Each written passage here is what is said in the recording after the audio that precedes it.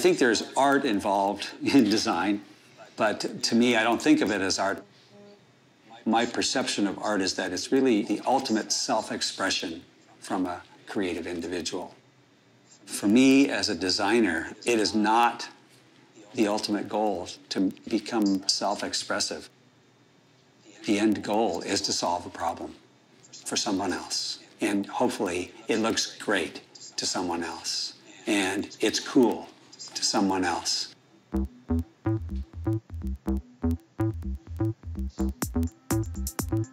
This is how design works for me. I started drawing space. I was really just trying to reflect my mood at the time. I started to have a little bit of fun with the actual planets and put faces on them, and I put George Jetson. You know, I have a Volkswagen bus, Porsche Speedster, P symbols and fingers. I don't even know why I'm doing this. I'm just doing it. I drew a cheetah foot that's actually embedded inside of a sneaker. And I'm kind of moving through from that first page of space. Now I'm getting more specific about innovation in general.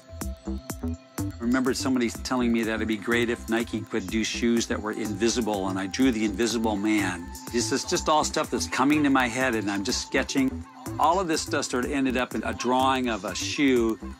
A stream of consciousness can lead you someplace. You may not even know where you're headed, but somehow you end up somewhere, and here I ended up with a shoe.